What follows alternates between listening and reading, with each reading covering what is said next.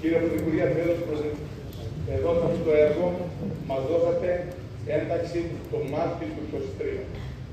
Ποτέ δεν μας δώσετε εντολή δημοκράτησης και χθες πήρα μία παρτικούσα που έλεγε ότι απαντάσει το έργο γιατί τάχα δεν κάναμε λέει τίποτα ενώ δεν μας δώσαν ποτέ εντολή να κάνουμε. Και τον Ιούνιο στο, σας εγχείρησα το πρόβλημα αυτό με το ένα σημείωμα. Αυτό το έργο είναι 400 θέσεις που υπάρχει και μια φυτεμένη πλατεία με και κοινωνικές δράσεις στην καρδιά της πόλης δίπλα στο Δημοτικό Κήπο.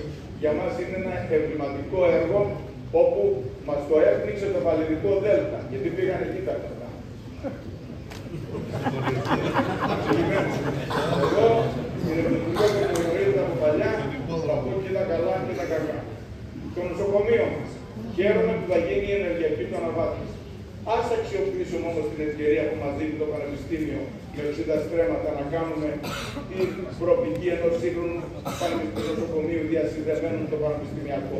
Αυτή θα είναι η λύση για να έχουμε γιατροί στο νοσοκομείο Ρετίνη.